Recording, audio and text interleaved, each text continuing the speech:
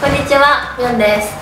えっと今日はですね、えっとトレーニング前と後のいつも私がやってる簡単なストレッチをご紹介したいと思います。トレーニングする前にしっかりあのストレッチで筋肉を伸ばしてあげて関節も柔らかく温めてあげた方がトレーニングのパフォーマンスも上がるしなんだろう怪我の予防とかにもつながるのでご紹介したいと思いますそんなあの難しいことは全くやってなくて本当にみんなが普段やってるようなストレッチだと思うんですけど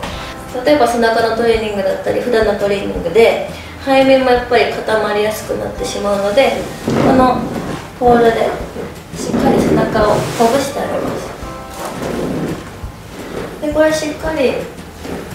結構硬めの素材なのでこれでほぐしてあげてもう一つこのバランスボールで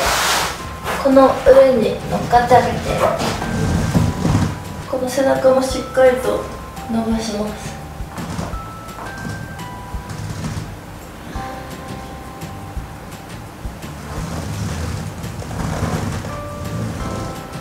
これもくびれとかラインを作るときに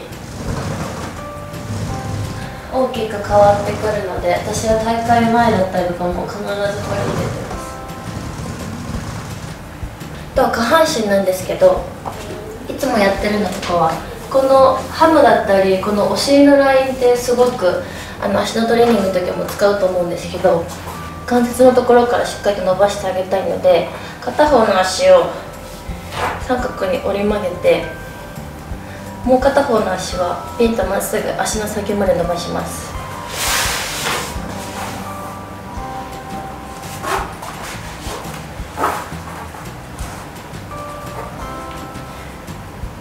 エクステンションする時だったりだとか